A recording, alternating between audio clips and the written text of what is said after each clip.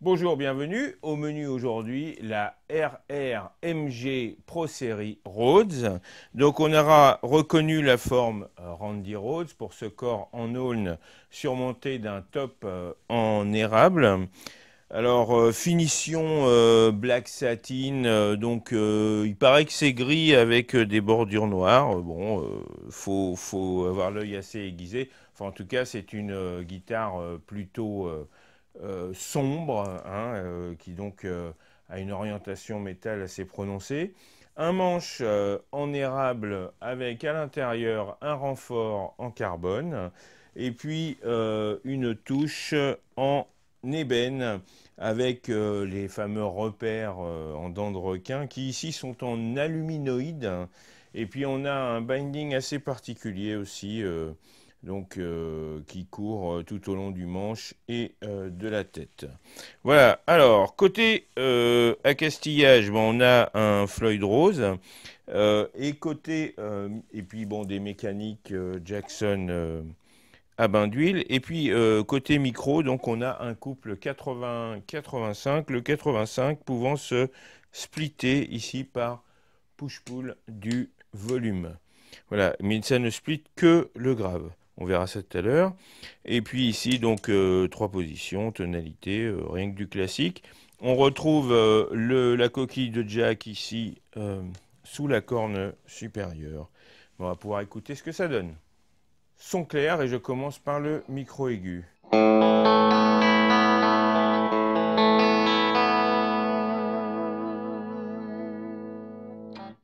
Position intermédiaire.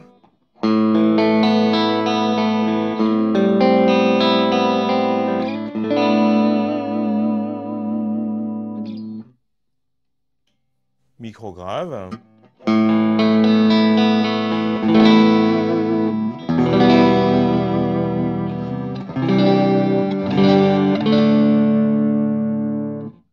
Je split.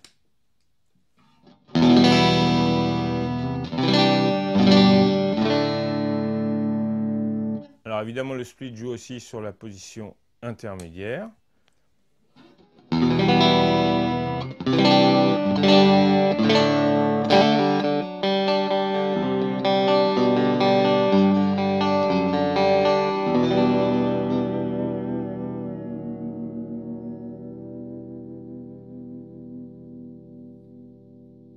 On va maintenant passer au son saturé, sachant que les sons crunch ne sont pas vraiment la particularité euh, de ces micros. On va voir que aussi en baissant le volume, on peut arriver à des choses euh, moins euh, terribles au niveau saturation.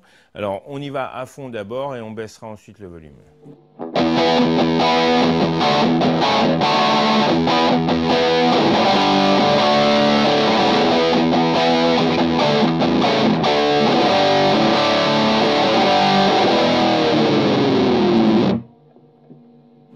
Baisse le volume.